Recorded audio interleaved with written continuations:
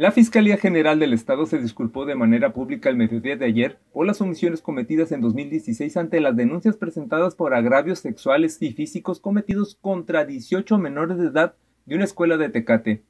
El fiscal central Irán Sánchez Zamora precisó que las negligencias fueron cometidas por agentes del Ministerio Público, policías investigadores y personal pericial de la entonces Procuraduría General de Justicia del Estado de Baja California. Las omisiones, señaló, ocasionaron que la Procuraduría no formulara una postura a favor de los afectados, que no juntara las pruebas suficientes y que no judicializara debidamente la carpeta de investigación.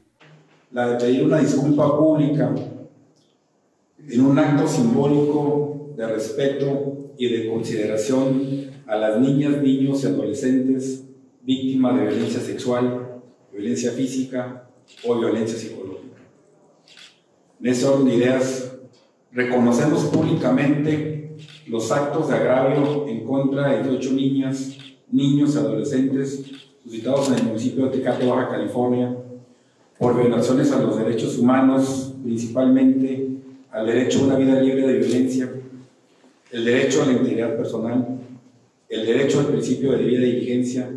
todo ello en relación al interés superior de la niñez. Este acto público, dijo, se realizó para dar cumplimiento a la recomendación con el folio 7 diagonal 2021 emitido por la Comisión Estatal de los Derechos Humanos de Baja California a la Fiscalía General del Estado.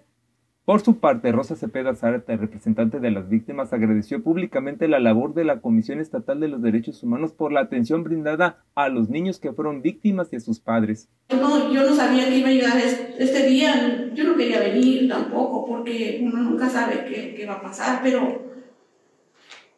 Quiero dar las gracias,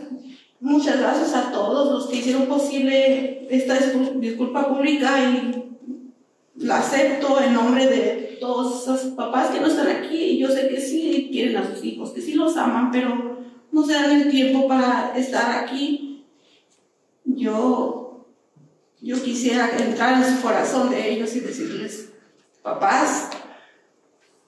hablen con sus hijos, háganles caso, cualquier señal que sus hijos les den, por favor, hay que buscar qué es lo que está sucediendo porque después se pueden arrepentir. Al respecto, Miguel Ángel Mora Marrufo, presidente de la Comisión Estatal de los Derechos Humanos, dijo que la recomendación 7 diagonal 21 fue dirigida a la Fiscalía General del Estado y a la Secretaría de Educación Pública del Estado, en la que se acreditaron violaciones a los derechos humanos contra 18 menores de edad entre niños y niñas profesor señalado como responsable, la encargada del despacho del plantel educativo y un ex agente del Ministerio Público. Estos hechos tuvieron que ver con tocamientos, humillaciones, violencia física y sexual. Las dos autoridades han aceptado estas recomendaciones.